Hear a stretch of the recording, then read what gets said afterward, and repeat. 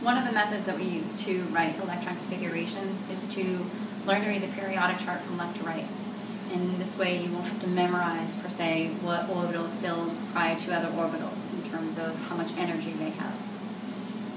Um, if you read the periodic chart from left to right, we're always going to start with these elements and then move across from left to right.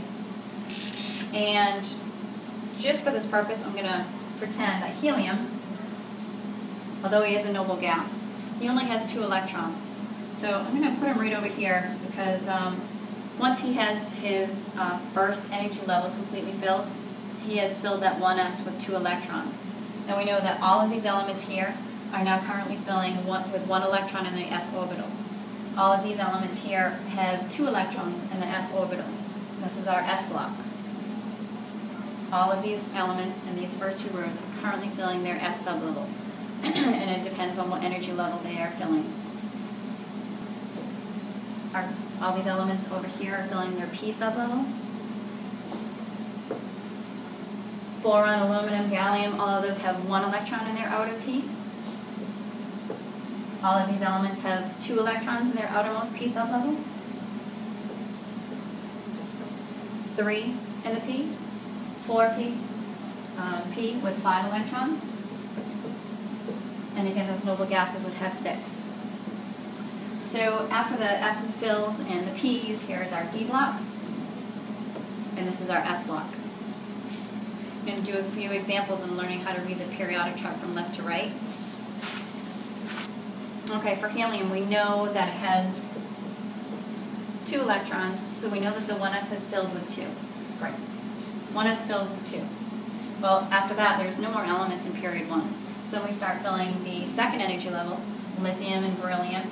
Well, if we were to look at um, the configuration of nitrogen, well, nitrogen would have the 1s completely filled with 2, and then it's going to start filling the 2s with 2, and then this area over here would be our 2p row.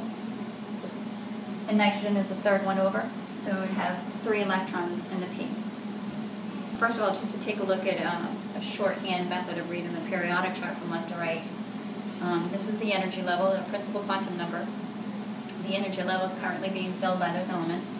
So they are filling the 1s, s block, first period. These elements are filling the second energy level,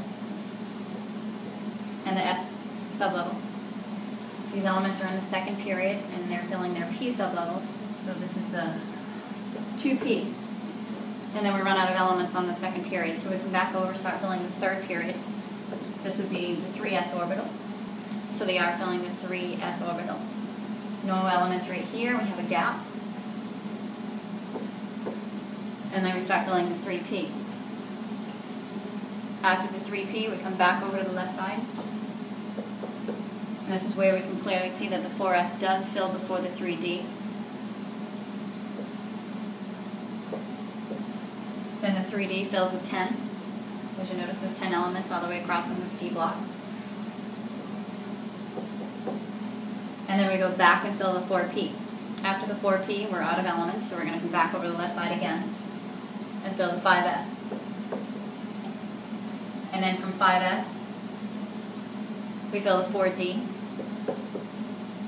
After the 4D, we fill the 5P. After 5P, we come back over and fill the 6S with 2. Now, if you take a look at atomic numbers on the periodic chart that you have, you'll notice that there is, um, this is where we go down to the inner transition metals, and they are currently filling their F sublevel. Um, all of these are filling the 4F. So from 6S, we go down and fill the 4F with 14. Then we go back and fill the 5D. And we just follow by atomic number. After the 5D, we fill the 6P. Then the 7S. And take a look at uh, taking a look at the atomic numbers. We go down and fill the 5F. with 14 electrons, and then back up to fill the 6D. Um, and on an updated version, you would have 118 elements where you would be filling um, the 7p sublevel. So to look at the order of how they're filling, if we were to do the electron configuration for um, titanium, previous to titanium, everything is already filled. So we will fill, the 1s will fill with 2, then the 2s fills with 2, then the 2p fills with 6, 3s fills with 2, 3p fills with 6, 4s fills with 2, and then the 3d fills with only 2 electrons. So if you were to write out the configuration for just sodium, right here,